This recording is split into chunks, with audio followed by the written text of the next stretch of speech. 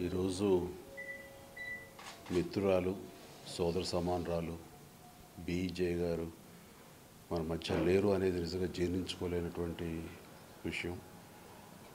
ఈవేళ మధ్యాహ్నం తెలిసేసరికి చాలా అవాక్ అయిపోయాను. నమ్మశక్యం కాలేదు.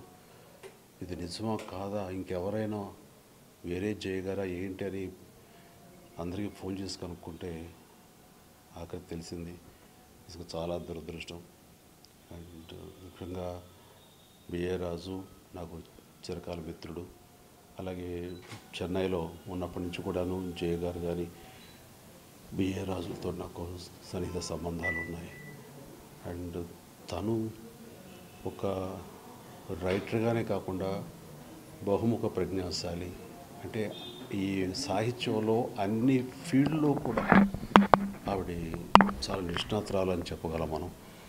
అటు రచయిత్రిగా ఇటు పత్రికా లేఖరిగా అండ్ దర్శకురాలుగా అన్ని శాఖల మీద పట్టున్నటువంటి గొప్ప సాంకేతిక నిపుణురాలు. ఆ రకంగా బహుముఖ ప్రజ్ఞాశాలి అని చెప్పగలను. అలాంటి విజయ లేకపోవడం అనేది పరిశ్రమకి తీరని లోటు.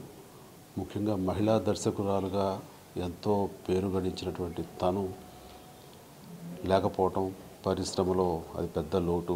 ముఖ్యంగా మా బిఏ రాజుకి చాలా తీరని లోటు. బిఏ రాజు మాట్లాడుతుంటే అన్నాడు చనిపోయింది తను కాదండి నేనండి. నా ఆలోచనలో నా ఊహలో జయ బతికే ఉంది. కానీ నేను మాత్రం తను లేని నేను లేనట్టే అన్నట్టు నిజంగా చాలా బాధ అనిపించింది. బట్ ఏవైనా సరే ఇది జరగాల్సింది.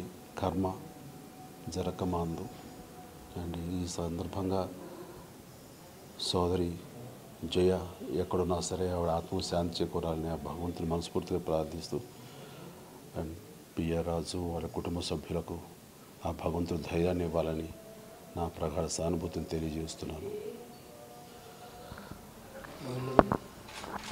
Thank you.